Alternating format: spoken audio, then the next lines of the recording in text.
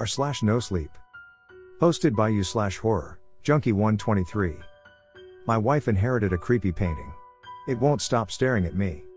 Have you ever come across a painting that gives you the chills every time you look at it? You know the kind. One where the portrait just feels off. Like you're being watched whenever you walk into the room.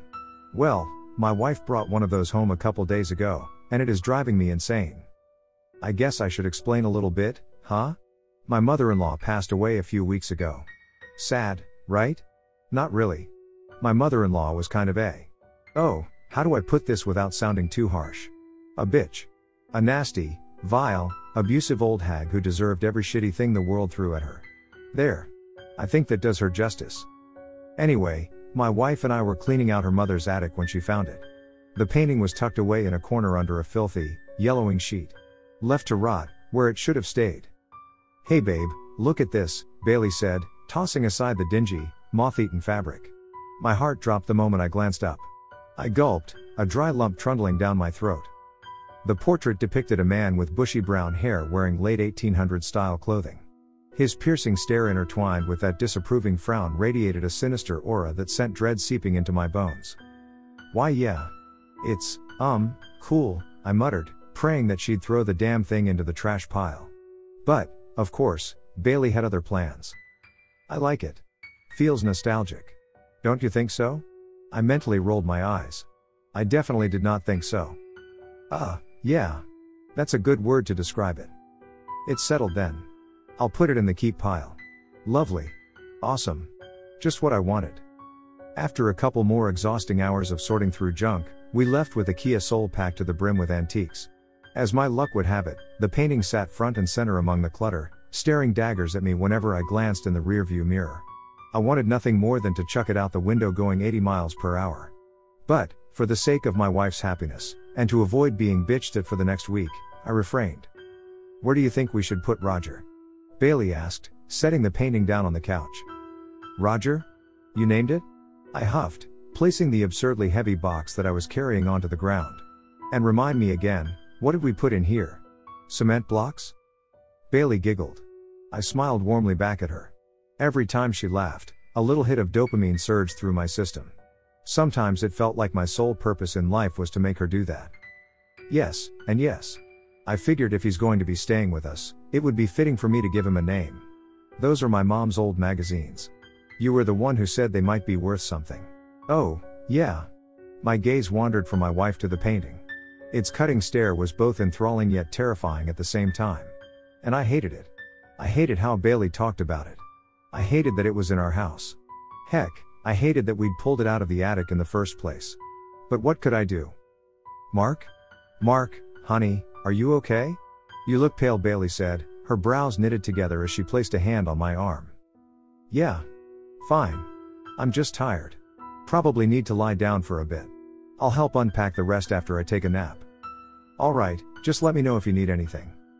I nodded, trudging up the stairs. Truth be told, I didn't need a nap. I needed to find a way to get rid of that creepy painting. And fast. Okay, I may have told a little white lie right there. I was out like a light the moment my head hit the pillow. After a deep slumber, I groggily glanced at my phone. Five minutes until six. Just in time for dinner. I patted myself on the back for not oversleeping my meal, hungrily skipping down the stairs. The tantalizing aroma of meatloaf and mashed potatoes teased my taste buds, practically carrying me into the kitchen. Bailey stood with her back to me, long black hair cascading down her shoulders as she retrieved our dinner from the oven. Babe, whatever you cooked, it smells incredible. She turned to me, grinning from ear to ear. Well, aren't you sweet? That nap really did you some good. You aren't wrong, I said, planting a kiss on her cheek. She leaned into me as I wrapped my arms around her. We stayed like that for a moment, my wife purring like a cat, before she broke the silence. Dinner's ready. Sit, she ordered, gently removing my hands from her torso. You got it, babe. I whipped around, preparing to claim my seat, and froze. No fucking way. She couldn't be serious. I was frozen, out of shock or anger, I still don't know. The painting sat at the head of the table, in my seat. That wasn't going to fly with me. Nuh uh. Bailey, what is that thing doing in my seat? Oh, Roger? He told me that he wanted to eat with us. My jaw fell to the floor. She had to be joking, right? Rage began to boil inside me, granting me mobility of my limbs. I marched up to the vile thing and snatched it up, trying to hide my discomfort as its icy stare bore into my chest. I am not giving up my chair to an inanimate object. No way, Jose. Bailey shrugged, looking me dead in the eyes. Suit yourself. But Roger won't be happy with you if you do that. I paused for a moment. If this was a prank, she sure was playing it up. I glanced back at the table. Should I? Return it? Hell no, it was a painting for fuck's sake. Was I really that gullible? I proceeded to the dining room, itching to set the freaky thing down. I placed the frame against the wall, out of view of the kitchen table. The last thing I needed was Roger glaring at me while I ate. Dinner was marred by an awkward silence. I anxiously masticated my meatloaf and potatoes, all the while wondering if I'd screwed up. Maybe Bailey was having some sort of mental break? I mean, she didn't have the best relationship with her mom, but she didn't exactly hate her guts either. I decided that my best course of action was to wait it out. Grief can manifest itself in strange ways. I'm going upstairs. Gonna try and get a little writing done. Can you take care of the dishes? Yeah, I got it. Um, Bailey? She paused, one foot on the bottom step, staring at me expectantly. Is everything okay? She sighed, averting her gaze. Yeah. Everything's fine. Okay. I'm always here if something's bothering you. You know that you can talk to me about anything, no matter how big or how small. I love you. A grin tugged at the corners of her lips. I know. I love you, too. I finished up with the dishes, even going as far as to knock out some of the laundry and sweeping so that Bailey wouldn't have to later on. I returned the broom and dustpan to their place beside the washing machine, and began to head back to the living room. I suddenly stopped dead in my tracks. I could feel eyes burning into my back. I spun around, heart beating a mile a minute. The tension partially dispersed from my system when I saw who that gaze belonged to. Roger. I exhaled, placing a hand over my chest. You nearly made me shit myself, you fucking dickhead. What was I doing? Did I really expect the thing to respond? Good. My blood turned to ice. I couldn't believe my ears. Did Roger just speak? No, that's silly. Paintings can't talk. Logically, I knew that. But something told me that my ears weren't deceiving me. I scoffed as I walked into the kitchen. Yep, that confirmed it. I was definitely getting rid of that creepy thing. I returned with the sharpest knife from the block. I slashed Roger across the face and stood back to admire my handiwork. I knew that I'd probably get an earful in the morning, but I'd gladly take that over having to meet that thing's soul sucking gaze for another second. The canvas flapped as I hoisted up the frame and began carrying it outside. I threw the abomination onto the curb and smirked as I sauntered back inside the house. Problem solved. Or so I thought. I awoke the next morning with a lingering sense of satisfaction. It was a Saturday and I'd get to spend the entire day lounging around with my wife. Nothing better than a day to relax, am I right? Morning, babe, I said, pouring myself a cup of joe. Someone's in a chipper mood today. You got that right. A whole day to do nothing but spend time with my best friend? Count me in, Bailey chuckled as a smile began inching across my face. You're a doofus, she said, lightly socking me in the arm. Ow, that hurt. I quipped, rubbing my deltoid like she'd done some real damage. Oh, stop. You're never serious. I am when it comes to you, I said, kissing her cheek. Okay, okay, I'll take your word for it. Now, go get the paper, lover boy. Yes, ma'am. On it, I said, saluting her as I turned to walk out the door. I suddenly skidded to a stop. Dread swallowed me like a python. Roger's cold, dead eyes stared back at me from the dining room wall. The painting had somehow been mended, as if I'd never damaged it at all. I could feel the color drain from my face. That shouldn't be possible. I couldn't believe my eyes. Ah, babe. Why is the painting hanging on the wall? Bailey's brows furrowed.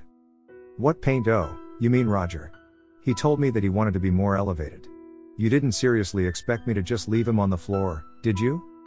No, I expected the fucking thing to be crushed by the trash compactor and buried in some distant landfill under a mile of garbage. Yeah, you're right. Silly me. Roger ruined the whole rest of my day. Just his presence was enough to unsettle me, even from all the way across the house.